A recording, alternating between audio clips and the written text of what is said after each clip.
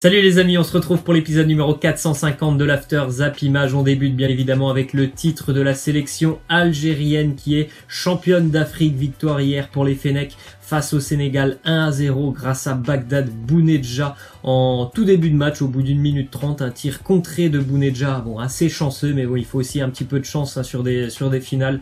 But qui va au fond et ça sera d'ailleurs le seul but de, de cette finale. l'Algérie s'impose donc face au Sénégal 1 à 0 comme lors du match de, de groupe la, la sélection des Fennecs est donc championne d'Afrique pour la deuxième fois de son histoire. Des petites images assez sympas de cette soirée notamment la communion entre les joueurs et les supporters juste après le, match, les, joueurs qui se sont tous agenouillés devant leurs supporters. Et il y avait beaucoup, beaucoup de supporters algériens dans le stade au, au Caire.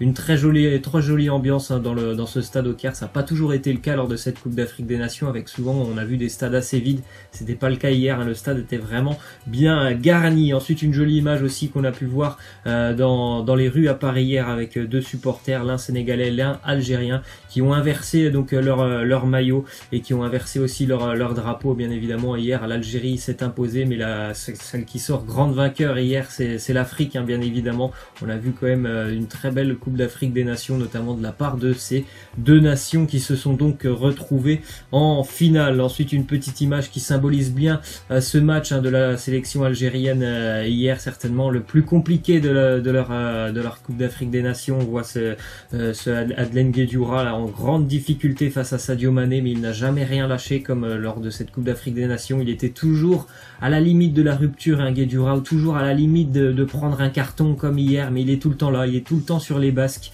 des joueurs. Alors c'est pas tout le temps simple pour lui parce que voilà, voilà physiquement et surtout au niveau de la, vitesse, c'était un peu compliqué hier pour lui, notamment face à Mané. On le voit hier, la grimacer sur cette image face à Mané, mais il est toujours là et il ne lâche rien comme toute la sélection euh, algérienne, ce qui représente bien euh, voilà la mentalité hein, de cette sélection qui n'a rien lâché qui est un vrai groupe très solide et en général pour aller très loin dans une compétition, il faut un groupe de euh, guerriers. C'est ce que nous a montré euh, l'Algérie, qui au-delà d'être un groupe de guerriers a aussi montré hein, vraiment que techniquement ça jouait très très bien et tactiquement aussi c'était très très en place. Retour sur le parcours de la sélection des Fennecs avec euh, donc dans cette Coupe d'Afrique des Nations, l'Algérie qui termine donc meilleure attaque, meilleure défense donc là, il n'y a pas grand chose à dire. Hein. C'était tout simplement la meilleure nation de cette, euh, de cette compétition, euh, l'Algérie, qui s'est donc quand même imposée deux fois face au Sénégal sans jamais encaisser de but. Hier, en plus de ça, sincèrement, comme sur le match de groupe, le Sénégal n'a pas vraiment eu de grosses occasions hein, sur ce match. Ils ont un petit peu plus tenté que sur le match de phase de groupe, mais ça a été très compliqué de s'approcher du but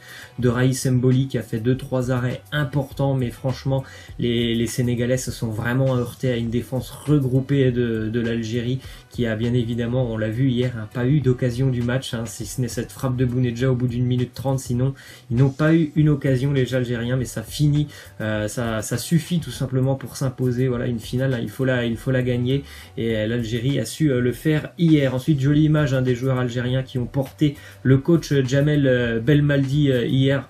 Franchement, il a fait un travail exceptionnel hein, depuis son arrivée Belmadi parce que c'était pas simple. Hein. L'Algérie était vraiment il y a plus d'un an au fond du trou. C'est, il sortait d'une période très compliquée depuis la non enfin depuis la période Coupe du Monde de 2014 où ils avaient fait un parcours exceptionnel. C'était vraiment une période compliquée depuis 2014 et là il a fait un travail exceptionnel pour remobiliser tout le monde pour, euh, euh, ramener en, équipe nationale certains joueurs euh, dont on ne pensait pas qu'ils pouvaient évoluer à ce, à niveau. Il a fait un très gros travail. D'ailleurs, cette déclaration de Jamel Belmadi qui nous dit on n'avait jamais gagné de Cannes hors de nos bases depuis 1990. Ça a été un long passage euh, vide, un long passage vide pour nous. On est un pays euh, de, football, on le mérite. C'était un match très compliqué face à une grosse euh, écurie, certainement la numéro la numéro 1 en Afrique. On l'a fait, bien évidemment. On l'a certainement en ce moment les deux meilleures sélections africaines qui se sont affrontées hier. Après l'Algérie un petit supplément d'âme. Il faut pas, faut pas se le cacher par rapport au Sénégal. C'est vraiment un 11 hyper solide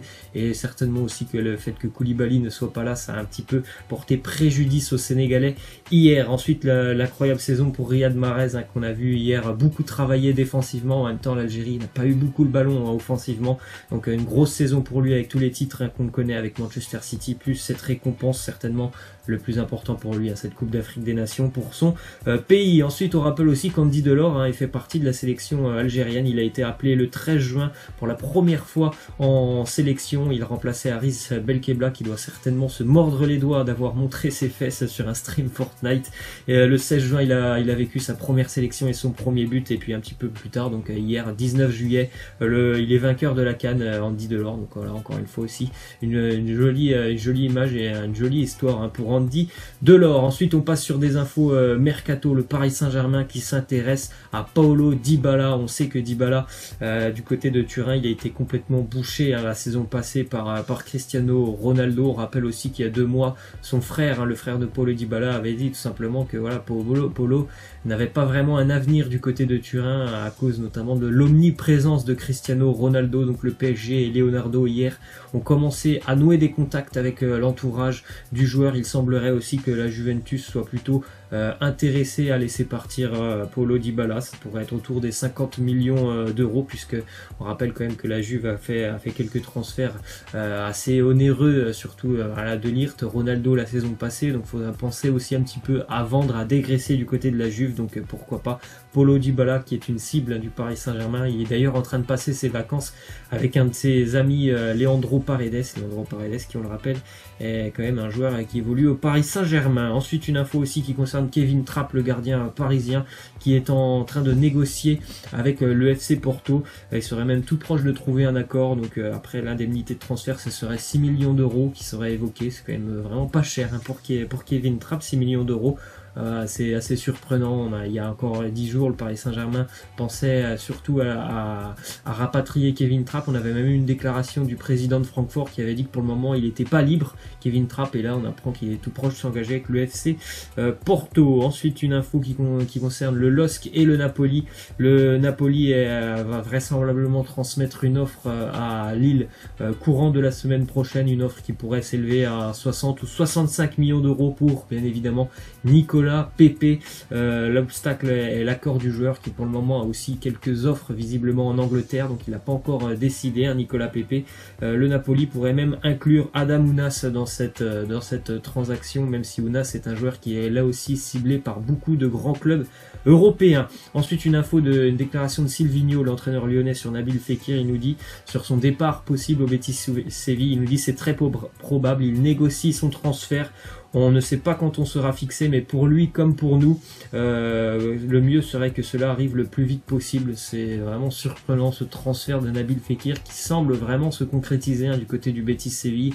Lui qui il y a un an devait partir pour Liverpool va certainement s'engager donc avec le Betis en, Liga. Je trouve vraiment que c'est dommage. Je pense qu'il mérite un petit peu mieux. Nabil Fekir. Ensuite, une info du président de Boca Junior qui annonce que l'OM a fait une première offre pour Dario Benedetto. Elle a été refusée par Boca Junior. Il y a eu une nouvelle offre de la part de l'Olympique de Marseille. Elle va être analysée euh, aujourd'hui. Mais pour le moment, il n'y a rien de bouclé ni d'avancé dans ce euh, dossier. Ensuite, une info qui concerne l'Eintracht Francfort qui a perdu donc Sébastien Aller cet été qui est parti euh, il y a quelques jours à West Ham. Ils ont perdu Luka Jovic qui est parti au Real Madrid. Ils s'intéressent à deux attaquants français, deux attaquants qui ont à peu près quand même le même profil. Ludovic Ayork, l'attaquant de Strasbourg, ainsi que Gaëtan Laborde, l'attaquant de Montpellier. Deux attaquants assez grands, assez puissants. D'ailleurs, Gaëtan Laborde a vécu la meilleure saison de sa carrière cette année avec Montpellier, auteur de 11 buts en 32 matchs. Ensuite, une déclaration de Joe Dagrossa, propriétaire des Girondins de Bordeaux, qui annonce que les Girondins euh, ont quelques grands joueurs dans le viseur. Je ne peux pas vous en donner, euh, de, je ne peux pas vous donner de nom, mais euh, je pense que les supporters seront heureux si tout se passe comme prévu. Alors ça, j'attends parce que des paroles comme ça, il y en a eu beaucoup, notamment du côté de Marseille ces dernières années, et au final, il n'y a pas eu vraiment de grands joueurs qui sont arrivés. Alors j'attends vraiment de voir ce qui va se passer du côté de Bordeaux, parce que là, il annonce quand même des grands joueurs. Euh, étant donné la saison passée de, Bordeaux, je suis pas sûr qu'on verra quand même ces grands joueurs arriver. Ensuite, une info qui concerne le Barça qui a identifié David Alaba comme une cible prioritaire du mercato pour notamment euh, tenter de suppléer aussi euh, Jordi Alba. Une info aussi du côté du Barça, Victor Valdez qui est de retour au club, il va entraîner les U19 du club catalan, l'ancien gardien du Barça qui vise certainement à terme de devenir l'entraîneur numéro 1 de l'équipe euh. Ensuite, une déclaration de Solskjaer sur Anthony Martial. Il nous dit c'est un attaquant de classe mondiale.